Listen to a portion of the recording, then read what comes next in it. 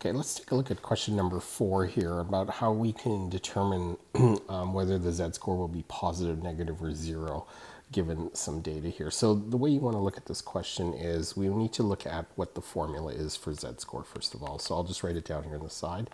So z-score is equal to the data point minus mu, which is the mean, um, divided by sigma. So what this is going to tell us is that as long as the data point is larger than the average, the top value will be positive. Okay, so as long as, um, because when we subtract the two, we have uh, a positive number. So as long as if x is greater than mu, then we will have a positive z-score. Okay, but if x is less than mu, meaning it's smaller than, then the top or the, the numerator is going to be negative, and that's going to give us a negative z-score. Okay, so that's all what we're really looking at doing here is just seeing whether it's positive or negative.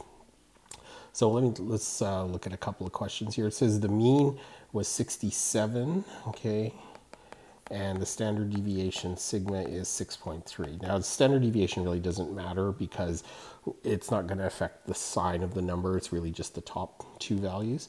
So if we have a score of 68, so what we would really have here is 68 minus, um, 67 divided by 6.3. That's how you calculate the z-score. So the 68 minus 67 is going to be a positive number on top. So this means that we just we are going to know for the value of that equation that we are going to get a positive z score okay? Because the sample number is greater than the given average.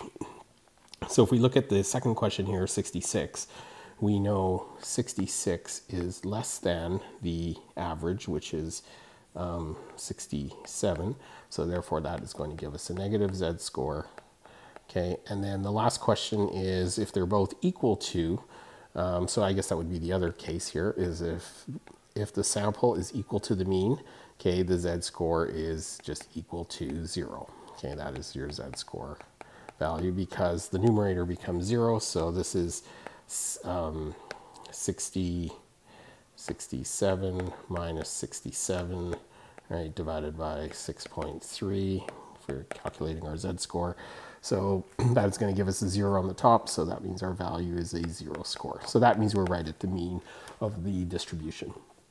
Okay, so for this question, just um, all you're really looking at doing is you're just analyzing what the expression is for how to calculate z-score and determining whether you have a positive or negative value overall.